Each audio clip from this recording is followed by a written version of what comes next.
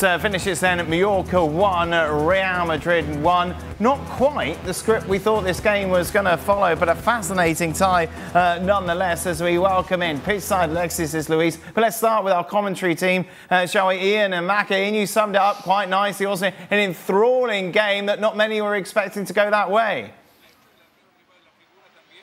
Yeah, and I think it's good news for really for La Liga. If you want to look at the big picture, there we all were saying Real Madrid. They've got Mbappe now. They were already champions. They were already kings of Europe. They're going to run away with this league. It's going to be no contest. Well, Real Mallorca just I think proved otherwise that teams can organise, can stop them. Okay, you can read too much into one result, but that was maybe significant. What do you think? Yeah, I think so. I think you know when Real Madrid put that starting 11 out, how you have to defend. You have to be very condensed. You have to be nice and tight.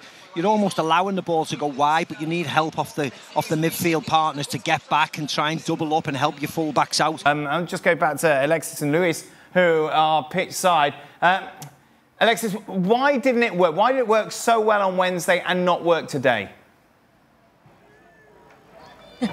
Do you know what, Dan? I think that's what a lot of Real Madrid fans will be thinking. But as I keep saying, it probably shouldn't come as that much of a surprise because Real Madrid have actually dropped points here at Son Moix for the last four seasons. So Mallorca, something about them, they know how to hold them. But we probably thought today would be a mountain too high for them to climb, considering Kylian Mbappe's inclusion, but they still did it again, Luis. So why couldn't it work for Real Madrid tonight? Well, it happens that sometimes uh, with, with some teams uh, during during the season, you you're not happy to go to the to the place because you, you don't feel comfortable because the crowd doesn't make you feel comfortable. The demons. Because, yeah, yeah, the demons. they can burn you. I can tell you that.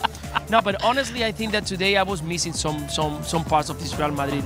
Last year we talked a lot about that um, they just uh, do enough, enough to get the result. And today, and we were talking a lot of times that uh, at some point that doesn't, it, it, wasn't going to be enough. And today it does happen. They uh, just went short in the second half. Um, you saw the, the, the, lack of intensity. I mean, Mallorca was playing 120%. You could see the intensity, the energy. They were doubling up in every single position in the left back, in the left back, in the right back. The centre backs were held by the, the midfielders. So the whole team was working together as a team, as a unit. It was very difficult to break down. Yeah. And you knew from the very beginning that if you're going to be lucky to score a goal, you have to uh, uh, make it count because Mallorca is not going to let you uh, go uh, with the three points. And tonight, I was expecting a lot more. We've yeah. been talking a lot about Alexis with Kroos in this Real Madrid is going to be something very important missing. And right now, you can say that. You can see that there is not that ability to switch the play easily. When Modric was into the field, you, you can kind of feel that, yeah, maybe now they can move it quicker, but it wasn't enough. And in the end, one more thing why the changes arrived so late into the game. If you mm. want to change something, I understand that you don't want to change Vinicius Junior or you don't want to change uh, uh, Jude Bellingham. But if you want to make something different, you have to change it quicker. It was only seven minutes for Brahim Diaz and for Arda Güler. You want to give it the chance, you need more minutes. So yeah, it was a, a, a total performance from um, from Mallorca, and I think that Real Madrid needs to improve if they want to win the league this year.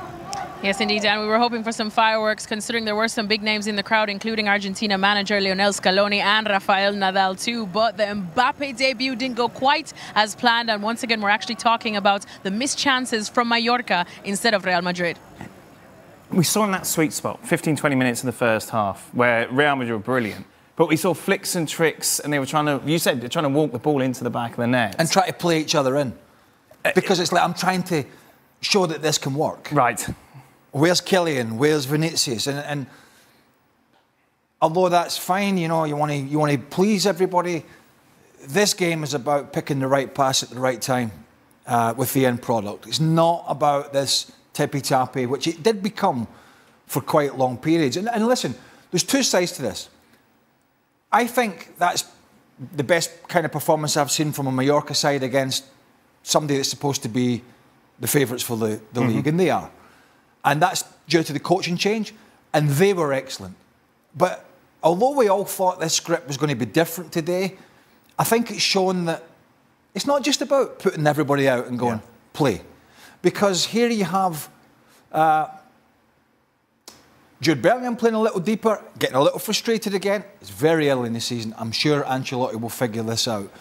Uh, and it, it's not, it did not quite click. And so then you have to look at it and go, well, what, what can we change? You know, maybe I play Kylian Mbappe and Vinicius Junior. as a bit of a hybrid front two. Then I get Jude Bellingham back in the number 10 role. And by the way, he was the best goal scoring midfielder in football last year. So you've now changed his position a little bit. But to get him in that 10 role, you have to change the shape. Yeah. And if you play that front two, somebody has to be left out. And who's going to be left out? The guy that scored the goal, Rodrygo. So it's not simple. It's not just as simple as putting everybody out there and saying, right, superstars, go and play. We talked about it before the game. There's a chemistry and there's a balance that has to be right in every side. And although it wasn't a disaster, it certainly wasn't. You didn't look at that and go, wow. Because Mallorca did not, they did not set off and go, they did for 20 minutes in the first half, but they didn't just go, oh, you, you, you can just go and play. They were able to pressure this side. As Macca mentioned in the commentary, the goalkeeper, he didn't make a couple of saves in the second half, but there was nothing really concrete, some good defending at the back post. But I think there is a lot of thinking to be done Right. for Ancelotti. I mean, it's only match day one, I understand that. But it's Real Madrid. Yeah. It's, it's a disaster. It's under pressure. Well, what are you going to do? Who's at fault? Who, who didn't play well? And so there's a lot to work out, but I'm sure he will. But I think ultimately, the way they, the shape they had today, I don't think that's the shape we'll see them have for the majority of the season because I think one or two will get frustrated and then he's going to have to figure that out. To Luis's point, were you surprised we didn't see the substitutions earlier? Probably, but then he's got to think about who do you take off. Right. Who, do you, who do you take off? Who's going to? It's very early. I don't want to get in people's wrong side, but but yeah, they were not going anywhere. They were not. It was all very slow. It was Yeah. very, and Mallorca defended well. They defended well. They attacked well. They had a great shape. And as I mentioned, the left back, five million euros. I mean, it was, it was incredible his performance, his crosses, his defending, his work rate. Uh, but for Real Madrid, it was, and I, and I talked about this before the game.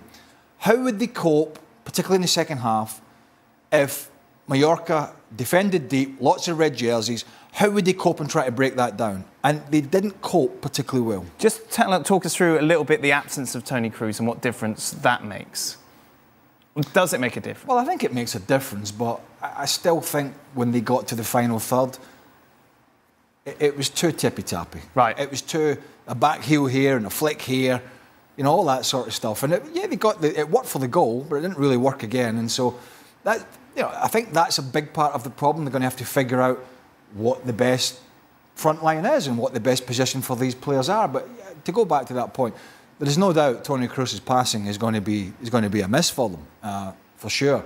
But I don't think that was the major problem today. I just think the balance in the team with all those players in the forward position and Jude Bellingham deeper, that that for me just took away another threat because if you've got Bellingham coming from that central position and I've got Mbappe and Vinicius or Rodrygo and I'm worried about them and I'm keeping my eye out for them, those players, I've got worried about where the movement is going to be, then as a midfielder, you've got Bellingham attacking that space. Yeah. That's another threat. But Yeah. we didn't really see that today because there was a change of position for Jude Bellingham and for one or two others. Luis, do you agree?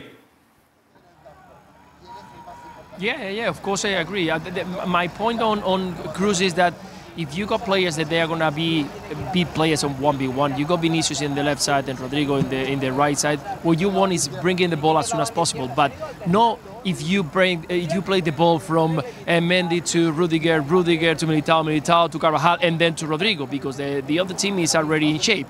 You need to move it quicker. That's why I think that Kroos understood that very quickly. The ball from one side is straight away to the other side, so you isolate on one v one in that uh, uh, right side. So I think that that's what is missing today. Tchouameni was replaced because wasn't giving much into the midfield. Yeah, he does a, a lot of uh, hard work into the side. I saw Militao and, and Rudiger very vocal with them because with him because he was losing some time the position. So the understanding in that position wasn't also the right one because Muriqi is a, a, a piece of work right there and he, he was creating so much trouble. So that's why I'm saying that they are gonna miss uh, uh, Kroos and they need to figure it out. How they're gonna do it?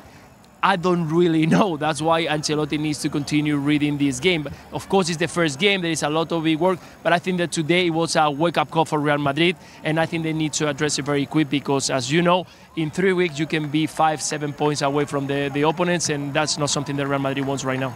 Well, a while ago, Luis, we just saw somebody running around and doing his laps around the field, and it happened to be Endrick. There was so much, I suppose, hype, especially around him when he came in, and we kind of almost looked at him and said, "Oh yeah, Yeah, forgot he was on the bench He's too." there. Well. Speaking of substitutions, was he someone that you feel like you would have liked to see Carlo Ancelotti bring on today? Do you think he could have made that difference? No, in the end, he's someone that, that he can make that, something different. I mean, if you're gonna bring Ibrahim, if you're gonna put it in the in the left side just to make one v one, it's exactly the same what Vinicius Junior was doing. Ibrahim Diaz is very good when he's on the on the pockets mm-hmm. behind the, the the striker and trying to bring the ball, turning around and facing players. So.